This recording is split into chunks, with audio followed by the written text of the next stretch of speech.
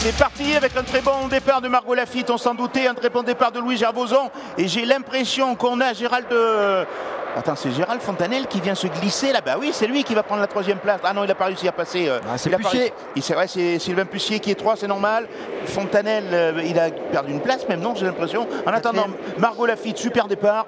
Elle était devant, elle est bien partie. Le- Louis Gervoson, c'est pareil. Sylvain Pucier, 3. Et j'arrive pas à discerner là. Eh ben euh, oui, il s'est fait griller. euh, Gérald de Fontanel par Anthony Pelfren.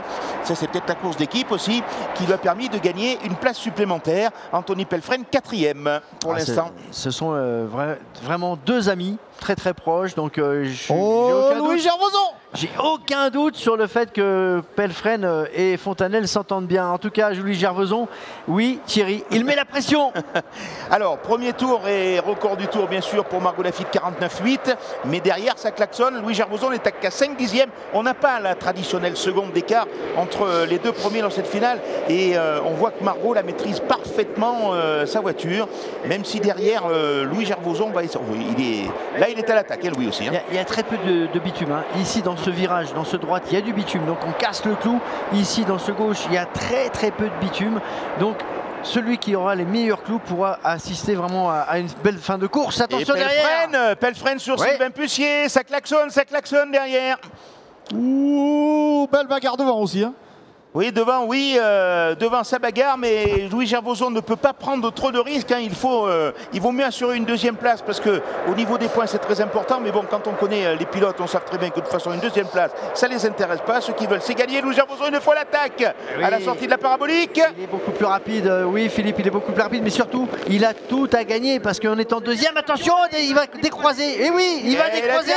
Et c'est Il va décroiser. Et peut-être pas, Margot Lafitte se laisse pas faire. Attention, le gauche, là, avant la descente, il est passé.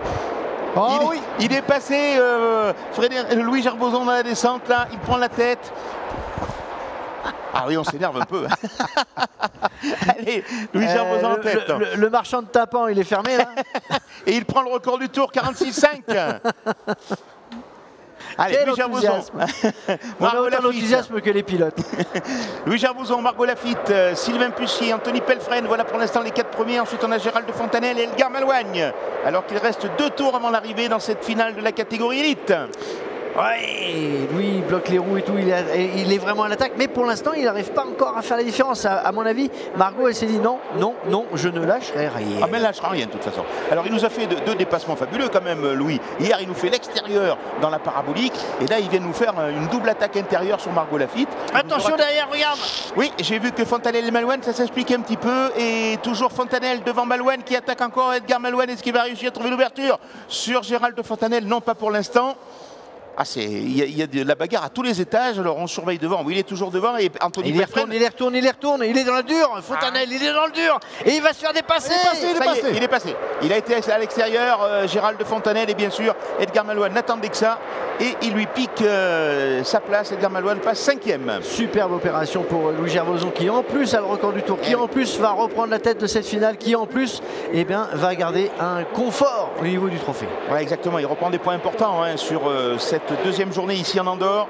Et derrière, j'ai l'impression que Anthony Pelfren a légèrement laissé partir. Oh non, pas trop, ça va. Attention la faute il il s'en- ouh là là là là, il s'en sort bien là, Anthony Pelfren. hein. Ah, il a raccourci le circuit de, Ouais. de- de 5 mètres. Double, double faute. Ah, ben Oh non, il est à l'envers.